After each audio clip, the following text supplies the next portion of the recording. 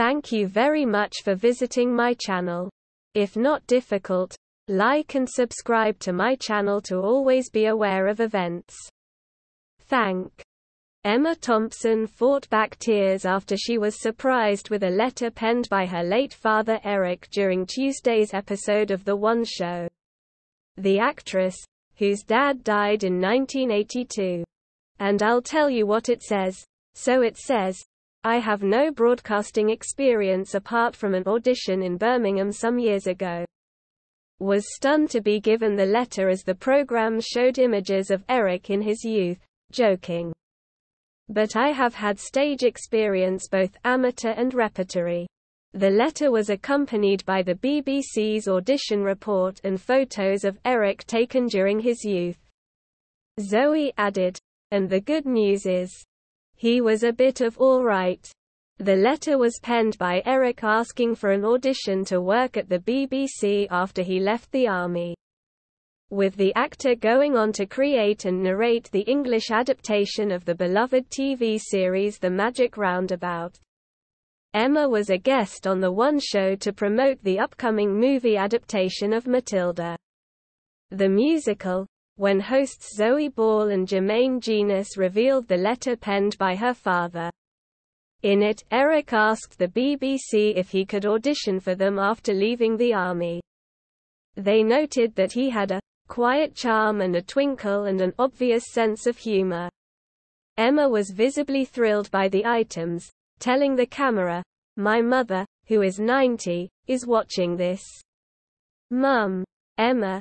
He did get an audition, Three years later, the producers wrote a positive report on him, which you can have a look at now, so good isn't it? She continued, and you can see there. I mean honestly, look. Gazing at the old snaps of her father, Emma added, check him out. With host Jermaine explaining, there's this letter from your dad to the BBC. So he says he's just left the army and that he's been advised to write a letter to ask for an audition with the BBC. He was a bit of alright wasn't he really? Eric went on to present the children's series Playschool in the 1960s, and was also the English narrator of The Magic Roundabout. Following a heart attack in 1967 he focused his attention on directing. He married Scottish actress Phyllida de Law in 1957, and they had daughters Emma and Sophie, who is also an actress. Emma is set to star as the hard-nosed headmistress Miss Trunchbull in the big-screen adaptation of Matilda, the musical, based on the Roald Dahl book of the same name. She is married to fellow actor Greg Wise, and they share daughter Gaia, 22, and adopted son Tindyebwa Agaba, 34. While Gaia has been following her parents' footsteps and pursuing a career in acting. Emma recently joked she's been dropping hints that her offspring could run a restaurant instead.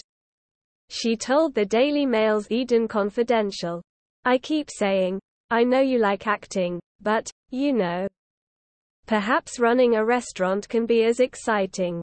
Emma added of the talented cook, There's something very theatrical about restaurants, when you get it right. You feel so happy and lucky to be in it. The One Show airs weekdays at 7 p.m. on BBC One. If you liked the video, please like and subscribe to my channel to stay up to date. Peace for everyone.